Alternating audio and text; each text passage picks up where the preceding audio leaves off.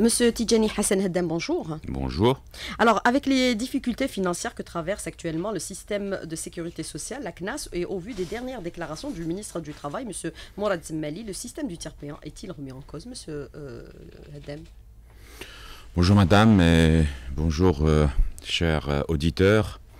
Merci Madame Souilé Lachmi de m'inviter dans votre belle émission pour faire de l'information, faire de la pédagogie pour nos concitoyens et expliquer certaines choses. Il est important de connaître que et de rappeler que notre système social était notre système dans notre pays, le fondement est éminemment social et qui s'est entièrement et clairement consolidé par la nouvelle constitution de 2006, 2016 euh, pardon, et qui la Constitution stipule dans son article 69 que le droit du travailleur à la sécurité sociale est garanti par la loi. Et donc par conséquent, euh, la volonté de son Excellence Monsieur le Président de la République s'est traduite par l'adoption du nouvel euh, modèle économique dont je citerai quelques extraits.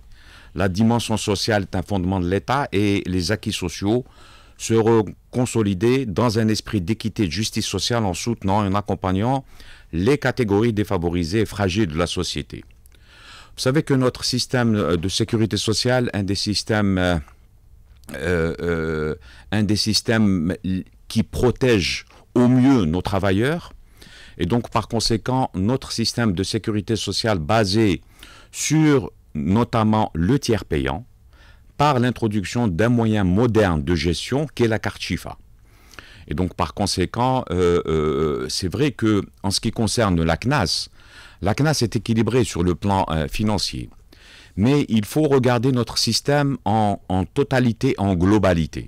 C'est un système de sécurité sociale, c'est un système de sécurité sociale qui est basé exclusivement sur la cotisation des assurés sociaux. Et cette cotisation, c'est la CNAS qui, qui recouvre cette cotisation et qui la dispatche il faut savoir que à peu près nous, nous, nous, recouvrons à peu près 1000 milliards de dinars, un peu plus de 1000 milliards, et que ces 1000 milliards de dinars, 52% vont à la retraite, 42% aux assurances sociales, à la CNAS, et le reste est dispatché entre l'assurance euh, euh, euh, l'assurance chômage et le Fonds national de péréquation des œuvres sociales. Alors vous dites que la CNAS est équilibrée sur le plan financier, la gratuité des soins est consacrée par la Constitution, elle est nullement remise en cause puisqu'on disait que celui qui n'est pas détenteur de la carte de Chifa n'accédera plus aux soins au niveau des hôpitaux. Monsieur Haddem. Permettez-moi de vous expliquer encore, madame, que euh, euh, tout travailleur a le droit à une protection sociale en Algérie. Et que par conséquent, la déclaration de Monsieur le ministre, Monsieur le ministre du Travail, de l'Emploi et de la Sécurité sociale, il faudrait que j'apporte quelques éclaircissements dans ce cadre. Quelques éclaircissements, c'est quoi, madame? C'est que le système de sécurité sociale, il faut qu'il soit équilibré. Et que Monsieur le ministre du Travail, de l'Emploi et de la Sécurité sociale a mis un diagnostic. Dès qu'il est arrivé, il a pris, il a fait un diagnostic sans complaisance pour le système en totalité, le système de sécurité sociale, et nous avons exploré tous les, toutes, toutes, les niches, nous avons exploré toutes les pistes, et notamment même euh, en ce qui concerne la gestion. Le diagnostic étant fait, nous avons remarqué que un des effets du déséquilibre du système de sécurité sociale, parce qu'il faut savoir que euh, euh, il y a deux cotisants pour un retraité. Et dans tous les pays au monde, deux cotisants pour un retraité, c'est pas un système viable, viable, et c'est pour cela que la Caisse nationale de retraite euh, euh, euh, a des difficultés de gestion, a des difficultés de pouvoir pérenniser la pension de nos retraités, et c'est la CNAS qui a pu pendant trois ans, au détriment de sa trésorerie, l'aider pour pérenniser ses pensions. Pour revenir à la déclaration, madame, et donc euh, ce système, ce système est la propriété de tout citoyen, de tout le citoyen algérien. Le système de sécurité sociale, et donc nous devons le pérenniser. Ce qu'a dit Monsieur le ministre, c'est que au niveau des hôpitaux, on va présenter la carte Chifa. La carte Chifa ne remet nullement en cause la gratuité aux soins, ne remet nullement en cause l'accès libre aux soins à la gratuité, à la prise en charge, aux explorations dans les structures de santé. C'est comme si vous dites, euh, quand vous rentrez à l'hôpital, euh, le fait de ne pas avoir de carte d'identité, vous n'allez pas être hospitalisé Non. La carte Chifa, c'est quoi? C'est une identification. C'est identifier est-ce que c'est assuré. Parce que dans le diagnostic posé dans notre système, une des causes du déséquilibre, c'est l'informel. Et pour identifier. La carte Chifa est un moyen d'identification. On peut ne pas euh, demander la carte Chifa et ça va être fait. Il suffit de donner votre nom, prénom, votre date de naissance. On pourra savoir est-ce que vous êtes assuré, vous êtes une catégorie particulière, vous êtes CNAS, vous êtes CASNOS, vous êtes Mujahed, vous êtes handicapé, vous êtes étudiant, vous êtes artisan. Et le système de sécurité sociale, il est généreux. Il prend en charge toutes les catégories de nos concitoyens. Et donc, par conséquent, la carte Chifa, quand elle sera demandée au niveau des hôpitaux, c'est pour identifier une personne et ne remet aucunement le droit constitutionnel consacré par notre État algérien, qui est éminemment social, qui est l'accès aux soins, la gratuité des soins.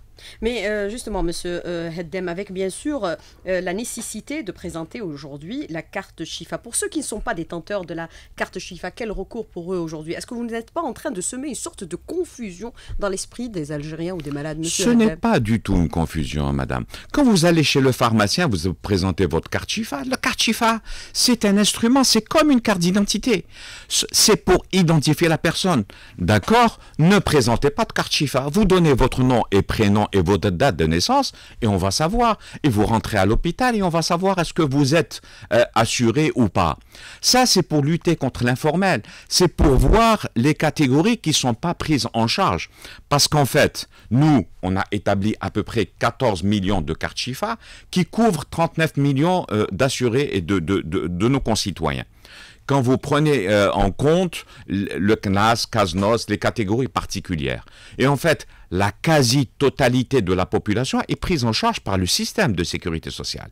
Il reste l'informel, il reste les personnes non déclarées les entreprises qui ne déclarent pas leurs employés. Et nous voulons identifier ces personnes. Vous êtes en train de traquer les entreprises qui ne, qui ne, déclarent pas leurs employés en définitive par cette nous mesure, nous faisons, nous faisons de la, de la pédagogie, nous faisons de la sensibilisation, nous avons fait de l'information, nous avons fait de la proximité, nous avons fait un travail en profondeur et ça c'est un des instruments pour lutter contre l'informel. Alors, équilibre, la, la, situation de la CNAS est en équilibre sur le plan financier, c'est ce que vous avez déclaré, alors qu'il y a trois ans, on sonnait la, sonnette, on tirait la sonnette d'alarme. Qu'est-ce que vous entendez par équilibre sur le plan financier, puisque vous dites, nous avons, pendant ces trois années également, soutenu la CNR à raison de 500 milliards de dinars qui vous ont été remboursés par l'État par le biais du financement non conventionnel. Monsieur Haddem. Merci, madame. Euh, je, dis, je dis que euh, nous, euh, nous recouvrons un peu plus de 1000 milliards de dinars, que nous avons, euh, nous dispatchons euh, ce recouvrement aux différentes caisses, nous assurons des prestations, que ce soit l'assurance sociale ou l'assurance maternité ou l'assurance décès ou, euh, ou les, arrêts, les arrêts de travail ou les accidents de travail, les maladies professionnelles, tous les risques sont, sont, sont, sont sont euh, pris en charge par la sécurité sociale et par la CNAS euh, notamment. Et que quand je dis équilibré, c'est-à-dire que euh, les inputs, les inputs, le recouvrement, arrive à combler les outputs, donc par rapport à nos prestations, les dépenses. Je dis que au fil des années, la CNAS a pu avoir une, une, une, trésorerie importante, et cette trésorerie, nous avons pu soutenir 2015, 2016 et 2017, nous avons pu soutenir la Caisse nationale de retraite dans le cadre de la solidarité intercaisse, dans l'entraide intercaisse, et par conséquent, nous avons pu pérenniser eh, eh, les, pensions de nos retraités et nous avons euh, euh, euh, dépensé un peu plus de 800 milliards de dinars pour la Caisse nationale de retraite afin de pérenniser, pérenniser les retraités et les pensions de retraite. Pour l'année 2018, madame, il y a une décision de son Excellence, Monsieur le Président de la République, d'octroyer euh, euh, une subvention de l'État à hauteur de 500 milliards qui a pu euh, pérenniser la retraite pour la retraite de, de, nos assurés. Mais vous parlez d'équilibre. Quelle est la situation actuelle? Hormis ces trois dernières années, vous avez dû soutenir la CNA. Comment se présente la situation au niveau de la CNAS, Monsieur Heddem La situation est, assez bonne. Euh, nous dépensons par année mm, en assurance euh, sociale, en prestations, à peu près 300 milliards de dinars par année. Nous avons une évolution exponentielle. Vous savez, d'année en année, euh, les dépenses en assurance sont aux alentours de 10% d'augmentation par année. Vous parlez de tiers payants et vous parlez de médicaments et je peux vous annoncer que le médicament représente euh, euh, euh, plus de 65% de nos dépenses que dans les 65% de nos dépenses, ça veut dire que la facture du médicament dépasse les 200 milliards de dinars, et dans les 65% de dépenses, 96% donc, vont au tiers payant. Et vous voyez qu'il y a une part importante du tiers payant qui est une protection de nos assurés sociaux. Il n'est pas euh, question de remettre en cause le système du tiers payant aujourd'hui, monsieur Pas du tout, madame. Pas du tout, madame. Au contraire, euh, la CNAS et le système de sécurité sociale euh, de, plus de plus en plus performant dans le cadre de la protection de nos concitoyens est est en train d'évoluer et nous sommes en train d'introduire de nouvelles prestations, de nouveaux remboursements au bénéfice de nos assurés sociaux. Alors le médicament représente plus de 65% de vos dépenses. Pourtant, le ratio du niveau de remboursement, parfois, il y a un gap important entre le montant déboursé et le montant remboursé. Quel est votre euh, commentaire justement, Monsieur Hedem, par rapport à cette question? Est-ce que vous la prenez en considération? Le montant déboursé par rapport au montant remboursé. Oui, c'est parce qu'on a appliqué le tarif de référence uniquement. Vous savez, quand vous avez plusieurs produits et, il y a une libre commercialisation de nos produits pharmaceutiques en Algérie, et par conséquent, euh, euh, le tarif de référence est un tarif moyen par rapport aux produits, aux nombreuses marques qui sont commercialisées dans le pays. Mais le tarif de référence, pour que les auditeurs puissent nous comprendre, c'est le prix le plus bas commercialisé sur le marché. C'est le prix moyen, madame. Ce n'est pas le prix le plus bas, c'est le prix moyen. Et par conséquent, il y a des produits qui sont inférieurs au prix, au tarif de référence. Il y a des produits qui sont inférieurs au tarif de référence. Alors, vous, vous déclarez aussi la guerre au niveau de la CNAS aux fraudeurs. Qu'est-ce que vous entendez par fraudeur aujourd'hui, monsieur euh, Haddem? Il y a deux types de fraude, euh, principalement. C'est la non-déclaration et la sous-déclaration. La non-déclaration, vous en êtes où aujourd'hui? La non-déclaration, euh, nous sommes en train d'auditer notre système et notamment notre système de recouvrement. ça, c'est pour vous dire que M. le ministre a mis en place des instruments euh, nécessaires pour la bonne gestion et notre recouvrement est important. Il est stratégique pour pérenniser notre système de sécurité sociale. En quoi il consiste? Et par conséquent, euh, le recouvrement, c'est que tout employeur est légalement obligé, il est obligé la loi le stipule, de déclarer ses employés et de déclarer ses employés euh, au prix juste, j'allais dire, c'est-à-dire au salaire juste. Et malheureusement, euh, malheureusement euh, il y a encore des employeurs à ce jour qui ne s'acquittent pas de leurs cotisations et qui ne déclarent pas leurs salariés et qui est contraire à la loi. Alors, Monsieur Tidjani Hassan Heldem, moi je voudrais revenir avec vous sur ce que vous avez déclaré dans la dernière question de la première partie de l'invité de la rédaction. Vous avez abordé la question des fraudeurs. Vous avez dit qu'il y avait deux types de fraudeurs. Ce sont les employeurs et ceux qui et les prescripteurs, ceux qui délivrent des certificats médicaux de complaisance. Qu'est-ce que vous avez fait? Est-ce que beaucoup se sont fait épingler? Pour revenir aux fraudeurs, il y a des abus et, de la fraude. Et nous faisons, euh, au niveau de la CNAS, la différence entre un abus et une fraude. La fraude est punie par la loi. Et, l'abus, euh, euh, nous rappelons à l'ordre les personnes qui abusent d'un système qui est, très généreux. En ce qui concerne la fraude, la fraude, c'est pour les employeurs. Il y a parfois une absence de déclaration, une sous-déclaration quand on est payé, par exemple, à 50 000 dinars euh, de, net, vous n'avez pas le droit de déclarer à 18 000 dinars, par exemple. Ça, c'est un type de fraude. Euh, c'est le type de fraude en ce qui concerne le recouvrement et nos employeurs. L'autre type de fraude, c'est une déviation du traitement qu'on vous donne, que votre médecin vous donne, et que vous utilisez pour autrui ou en quantité importante. Et ça, c'est une fraude et c'est interdit par la loi. Un autre type de fraude, vous savez que la prescription d'arrêt de travail, c'est un acte thérapeutique qui doit être en adéquation par rapport à votre état de santé. Et par conséquent, il faut prescrire, et, le code de déontologie médicale prévoit la prescription d'un arrêt de travail ou d'un acte thérapeute ou d'un acte de traitement par une ordonnance, mais au juste niveau économique. C'est-à-dire qu'il faut prescrire juste par rapport à l'état de santé de nos malades. Et nous avons nos médecins conseils que je salue, que j'encourage et que je félicite pour toute l'activité qu'ils font, qui sont par la loi autorisés à voir est-ce que les prescriptions, est-ce que les médicaments, est-ce que la prescription des arrêts de travail sont véritablement en adéquation par rapport à l'état de santé de notre population et de nos assurés sociaux? Alors, il y a eu des redressements à l'égard des employeurs et beaucoup de personnes se sont fait épingler, monsieur euh, Heddem. Effectivement, vous savez que le recouvrement des cotisations de sécurité sociale est le cheval de bataille de la CNAS.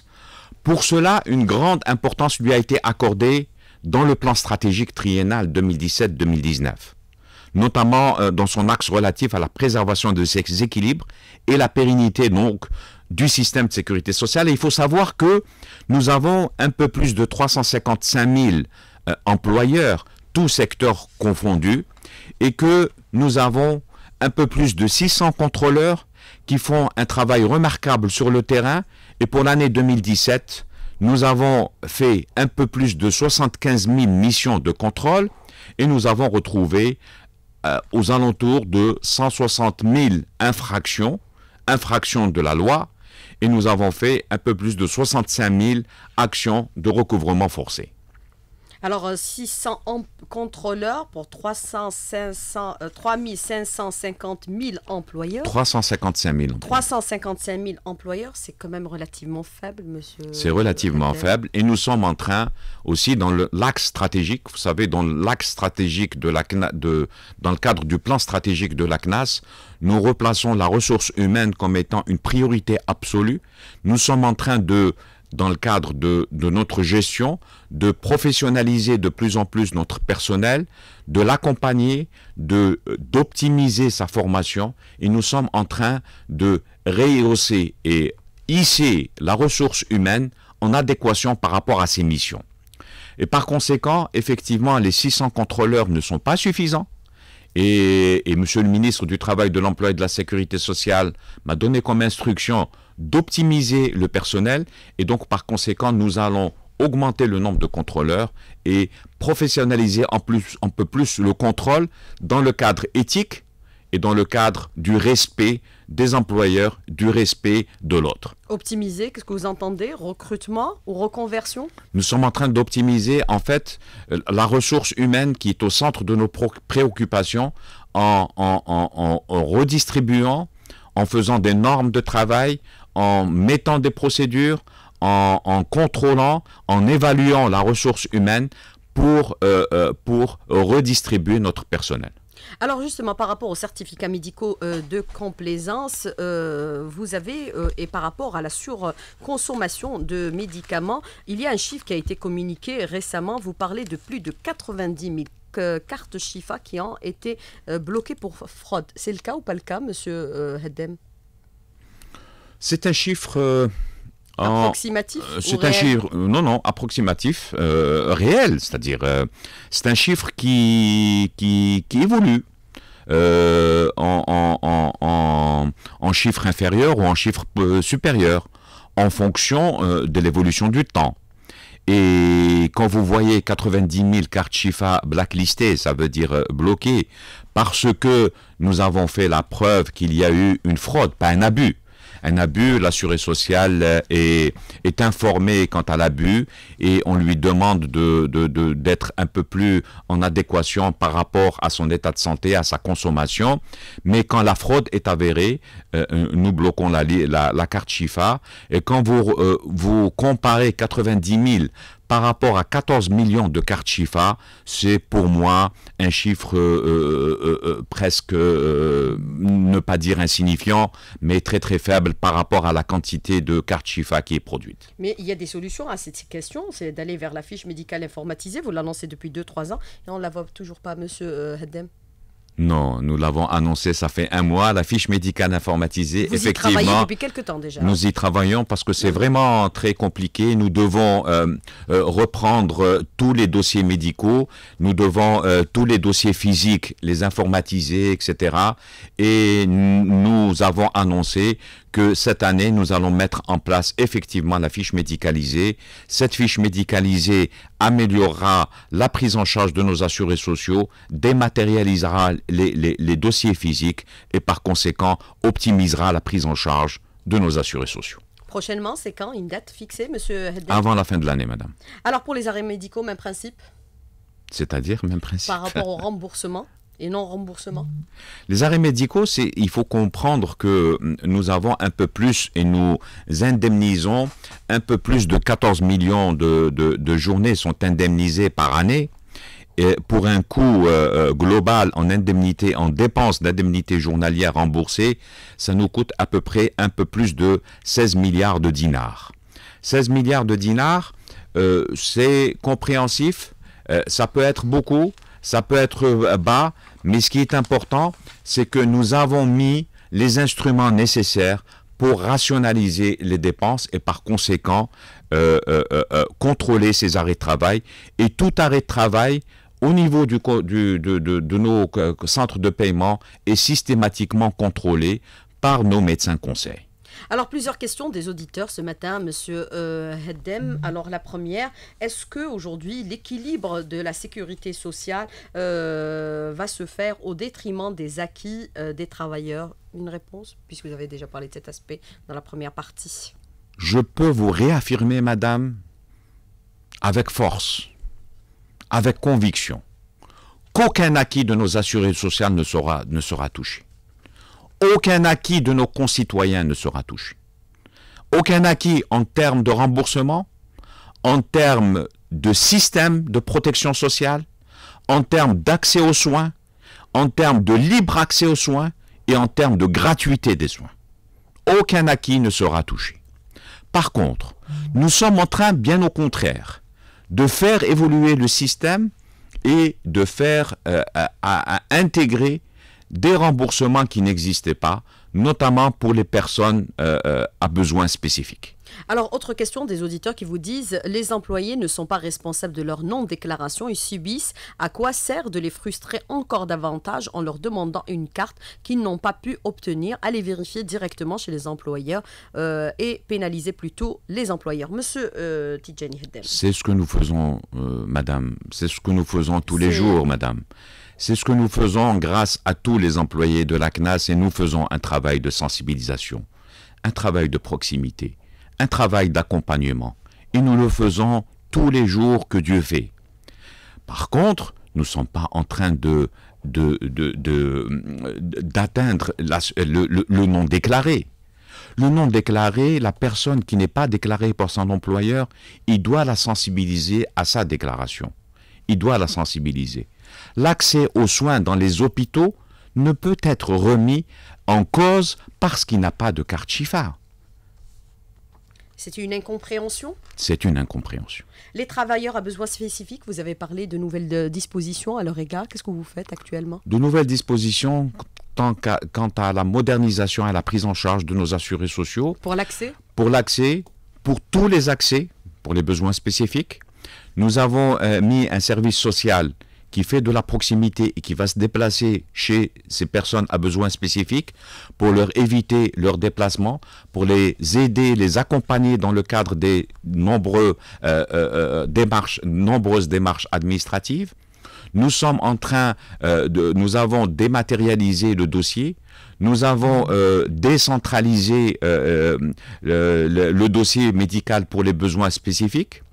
Monsieur le ministre du Travail, de l'Emploi et de la Sécurité sociale, dans le cadre de la prise en charge de l'audiologie et de l'audioprothèse, nous avons mis en place avec l'ONAF au niveau de tous les centres un centre d'audiologie et un centre d'audioprothèse dont tous les centres de paiement euh, euh, siègent au niveau des agences pour euh, pour accompagner, pour, proximité, nous sommes, nous avons déplafonné pour les stomiser. nous, donnons l'accord avant pour trois mois pour les poches de stomie. Nous avons donné l'accord actuellement pour une année et donc il peut, on a facilité les choses. Nous sommes en train de réfléchir pour rembourser euh, euh, euh, les sondes, les, autosondages lubrifiés, et nous sommes en train de faire un travail dans ce sens, et beaucoup d'autres choses sont prises en cadre pour l'accompagnement et pour la prise en charge des besoins des personnes à besoins spécifiques. Alors la nomenclature des remboursements est, date des années 80, 30 dinars pour une radio, une visite médicale à 100 dinars. Est-il question de la réactualiser aujourd'hui, Monsieur Heddem Effectivement, Madame Souhila Hashmi, la nomenclature des actes professionnels, euh, elle date de 1985 et elle n'a pas été réactualisée euh, depuis le temps. Mais par contre, euh, nous avons mis un système de conventionnement du médecin traitant où on a intégré plusieurs actes dans le cadre des maladies chroniques pour nos retraités et plusieurs actes au prix pratiquement appliqués chez nos confrères, nos confrères prestataires de soins nous avons euh, euh, repris la consultation. Et la consultation, dans le cadre du conventionnement du médecin traitant, elle est remboursée à euh, plus de 80% par rapport au prix pratiqué par nos médecins généralistes et nos médecins spécialistes. Alors, autre question d'un auditeur, il faut faire vite un peu sur les questions des auditeurs pour euh, qu'on puisse en poser un maximum. Certains spécialistes affiliés à la CNAS, Monsieur euh, Heddem, nous exigent de payer la différence. Ont-ils le droit? Est-ce que la gratuité des soins est consacrée quand il y a un médecin conventionné avec la CNAS? Quand le médecin est conventionné avec la CNAS, madame, il n'a pas le droit de demander une différence. Quel recours C'est un tiers payant, madame. C'est exactement la même, le même système que le tiers payant au niveau des médicaments. Et par conséquent, le médecin spécialiste ou le médecin généraliste n'a pas le droit de demander la différence. Et l'assuré social peut ne pas payer cette différence et peut alerter la CNAS dans ce sens. Est-ce qu'il y a possibilité justement d'alerter? Comment le faire? Un numéro vert, monsieur Haddem? Oui, nous avons notre numéro vert, nous avons nos, nos, nos, euh, euh, euh, cellules d'écoute. Cellules d'écoute qui existent au niveau de tout le, tout le territoire national. Et nous sommes à la disposition de nos assureurs sociaux pour cela. Alors, euh, monsieur euh, Heddem, une question d'un auditeur qui vous dit au moment où vous parlez un peu de la rationalisation de la dépense et difficultés que traverse depuis trois ans pratiquement la CNAS, qui a soutenu euh, dans le cadre, bien sûr, de la solidarité intercaisse la CNR à raison de 500 milliards de dinars qui ont été remboursés par le biais du financement non conventionnel par les pouvoirs publics qui a été inscrit dans la loi de finances. vous avez acquis un bâtiment de plus de 600 millions de dinars. Quel est votre commentaire? Est-ce que vous aviez besoin de cette dépense, monsieur euh, Haddem? Euh, effectivement, madame, nous avons acquis cela. Euh, ça, c'est pour la, c'est pour la direction. C'est pour la direction. Hein. Oui, madame. C'est pour la direction générale de la CNAS qui a besoin et qui, qui est logé actuellement dans des, des préfabriqués qui ont dépassé largement leur, leur durée de validité et par conséquent, euh, une direction générale adéquate est importante. Alors, euh, pourquoi votre bilan n'est pas publié sur votre site euh, Monsieur Haddem, c'est l'auditeur qui vous pose cette question.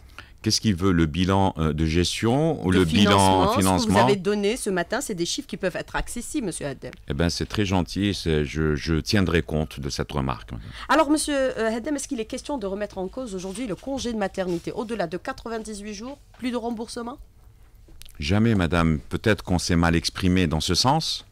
Et on n'a jamais dit que euh, euh, s'il y a un arrêt de travail au-delà des 98 jours légalement consentis par la loi dans le cadre de la maternité, nous avons dit que si l'état de santé de la parturiante, et il faut savoir que je suis médecin et donc je suis impliqué dans cela. Plusieurs fois, j'ai essayé, j'ai failli vous dire, docteur Si la, si la parturiante, euh, son état de santé nécessite, la CNAS n'a nullement le droit, les médecins conseils n'ont nullement le droit de remettre en cause cet arrêt de travail. Mais par conséquent, si l'arrêt de travail est utilisé pour euh, élever l'enfant, Ça, c'est une déviation qu'on ne peut accepter. Alors, pour équilibrer euh, la CNAS aujourd'hui, que faut-il brièvement, Monsieur Hedem, plus d'emplois? Pour équilibrer la Caisse nationale de sécurité sociale et les caisses de sécurité sociale, nous devons réfléchir ensemble, tous, euh, à, apporter peut-être des sources additionnelles. nous avons vu, nous avons vu que les systèmes, les systèmes à travers le monde, quand ils sont, quand la caisse nationale, leur caisse de sécurité sociale est uniquement euh, euh, gérée grâce aux cotisations de sécurité sociale, aux cotisations des employeurs, euh, elles ont connu un déficit. Et vous pouvez comparer, vous savez, l'Algérie n'échappe pas au monde. L'Algérie évolue dans un monde euh, euh, géopolitique et géosocial d'un environnement international et par conséquent, tous les systèmes de sécurité sociale à travers le monde connaissent des difficultés. Peut-être qu'il faudra parler et il faudra penser à une fiscalisation, peut-être à une budgétisation par l'État pour aider euh, euh, euh, la, pérennité de ce système. Mais pour la CNR, il y a une fiscalité pétrolière à hauteur de 3% qui est versée à la caisse. Monsieur Tijani Hassan Heddem, merci d'avoir répondu à nos questions et d'avoir été en direct avec nous ce matin dans le studio. Merci beaucoup. Merci, madame. À bientôt. À bientôt.